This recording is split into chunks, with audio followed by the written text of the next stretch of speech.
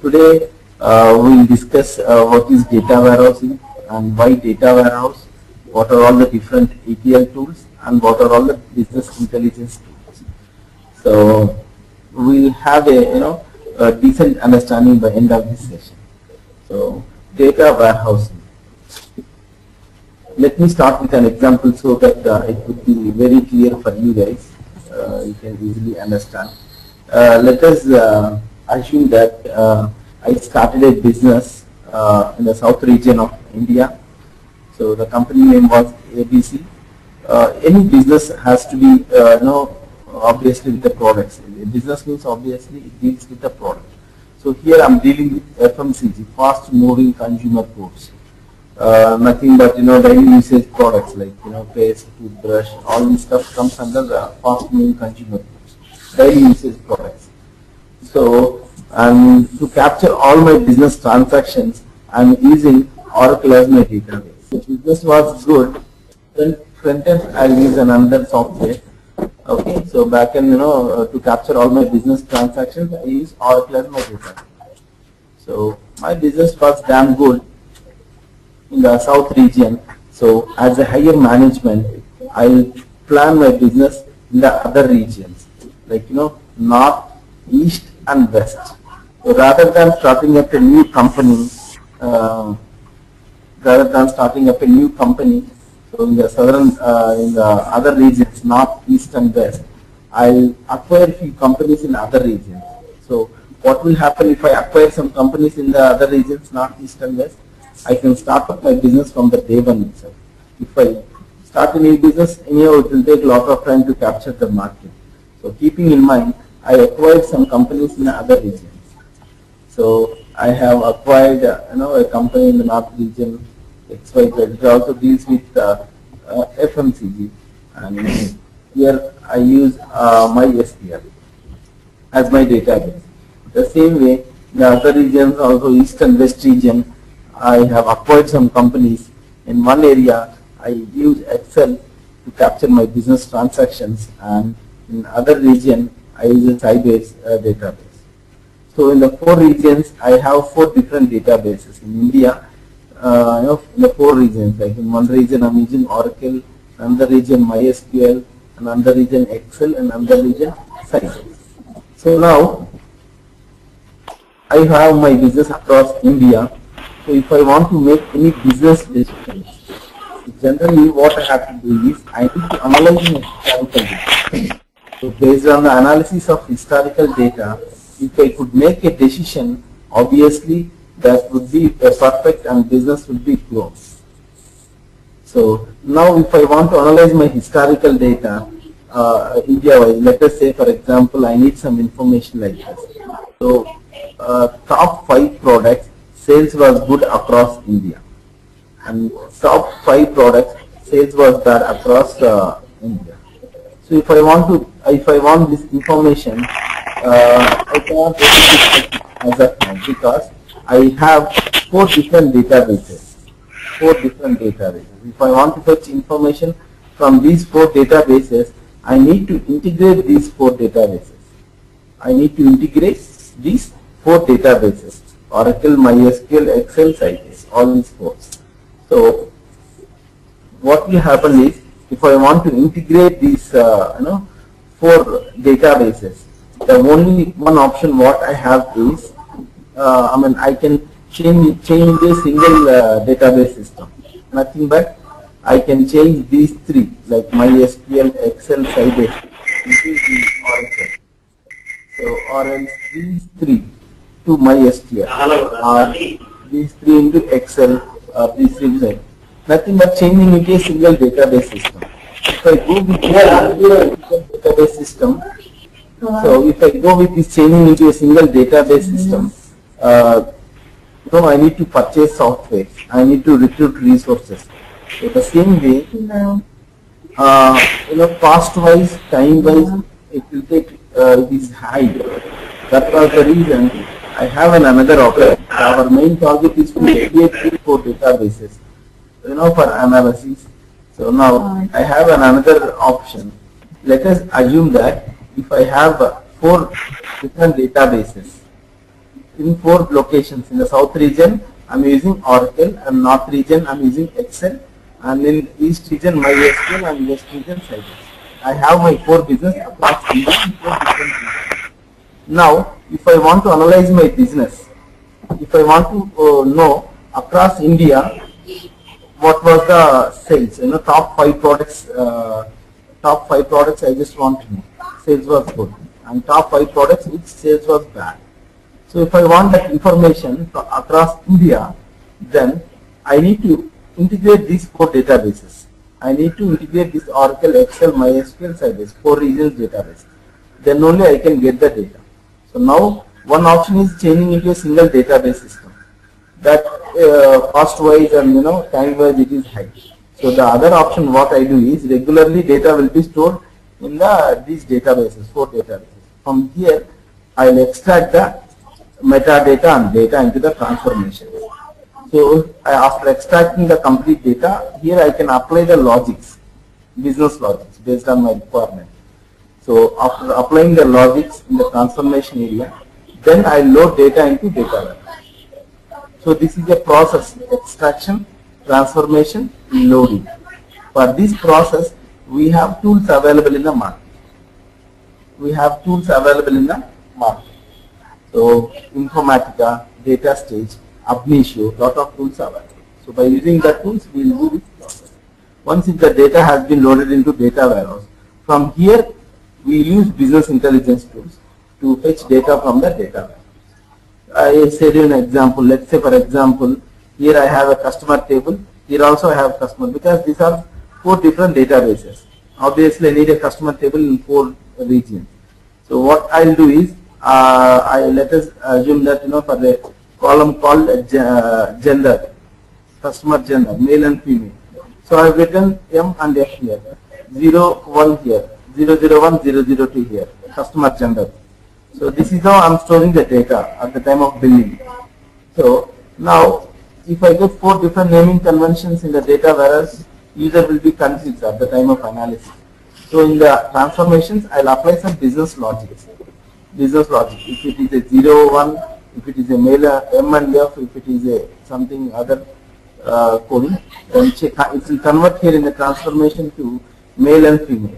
Then the data will be loaded into the data warehouse.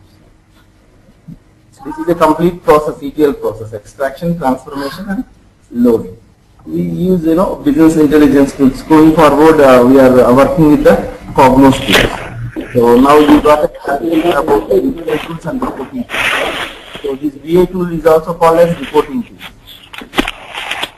So going forward, we'll discuss all these uh, concepts. Like we'll discuss data warehousing concepts, so Cognos architecture, futures and versions. Here we have lot of previous versions and features. What are all the features in the Cognos architecture also we discuss. So framework manager. It is actually a metadata modeling tool. Before reporting, we do we do modeling. The framework manager. So and Query Studio is for simple and ad hoc reporting purpose. We develop Query Studio. Develop reports in the Query Studio. Then users will use this Query Studio. And Report Studio is mainly used for complex. Any kind of complex Report Studio. And Transformer. It is mainly for three-dimensional reporting. In the Transformer, we can build a cube. And in the Analysis Studio, we can develop three-dimensional and Cognos connection where we manage the reports, giving uh, access to the end users and all the reports will be managed in the Cognos. So and complete you know end-to-end process of a project like we have development, we have enhancement, we have support, we have migration, we have different kinds of uh, tools available. Uh, you want me add uh, is anything you are looking specific, Shyam? No, you said you will be showing how to create a report. Is it today or Yes, is yes. Today itself, I'll just show you uh, the framework manager modeling and all the windows. I'll just show you. Mhm. Um, Yeah, uh, Rajesh, and um, apart from the apart from these topics, whether you will be covering uh, about uh, how to install, uh, you know, uh, Cognos uh, 10.2, and uh, how the portal communication is happening, what is the dispatcher to gateways, those things under, under you will be covering, right? No, the architecture we'll be discussing. Installation will not uh, do it in the sessions. Administrator will log in and will help you with the installation. So Okay. We're not going to do installation in the class. Uh, Yeah, that, that's yeah, uh, that, that that's what I got. But my question is, um, you know, whether that kind of topics and all, will- it will be covered um, in the session. Uh, you know, when uh, how the dispatcher is working, what um, you know, those kind of stuff. Yes, yes, we, we are discussing. Uh, we will discuss that. See, administration Yeah. area means whatever is available. See, because we are in the standalone environment, not in into distributed environment. So whatever Okay. we have in the administration, we have generally three tabs. Now in the 10.2, we have four tabs. So that we will discuss it. So um, we will discuss how to create data sources and uh, securities, all this stuff. Yeah, yeah. Yeah, um, uh, those things it will be covered in the curriculum, right? Yes, yes. Uh, okay, okay, fine. Now I will show you how to uh, create a simple report. You know, uh, in a modeling how we do. Then after modeling how to create a package and publish. So then opening in how to open uh, reports in the Cognos connection. Then a simple report development. So now we are going to discuss uh, framework manager. Uh, Cognos connection.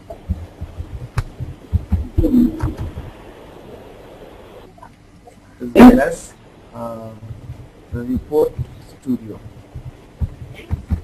and Cognos viewer.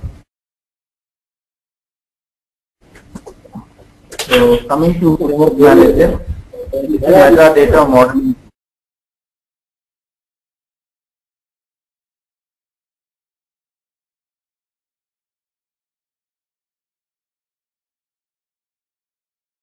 So Cognos connection, where we manage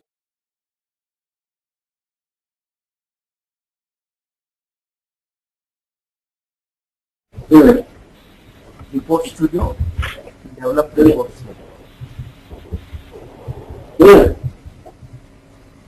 Cognos viewer, where we'll uh, view the output.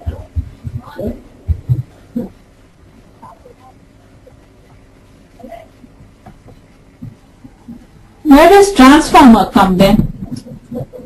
The transformer is uh, for cube building.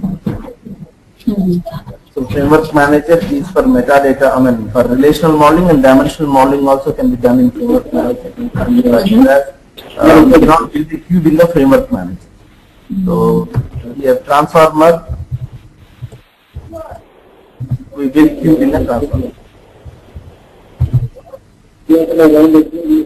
Today now I'll just show you apart from the transformer remaining windows I'll show you.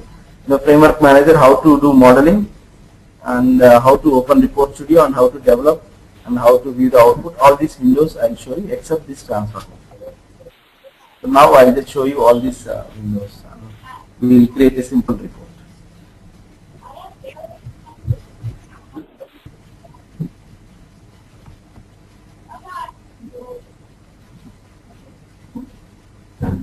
Framework manager for your understanding purpose, uh, we'll discuss it in the later. Meanwhile, I'll just uh, tell you uh, what exactly we do in Framework Manager. So first step is create a project. Second step is import metadata. Metadata is nothing but table structure. Table, import metadata, specify relationship and cardinality.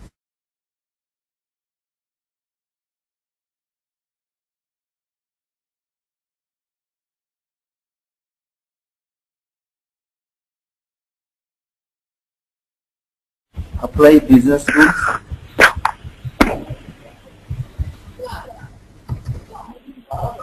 creating a package.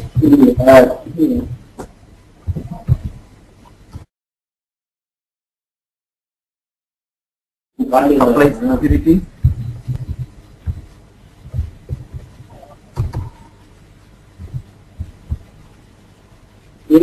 Publishing package. So for your understanding purpose, I am just explaining you in six different steps. This is the total work what we are going to do in framework management. So this is the way importing metadata, specifying relationships and cardinalities between the tables. Applying business rules is nothing but filters, calculations, conditions.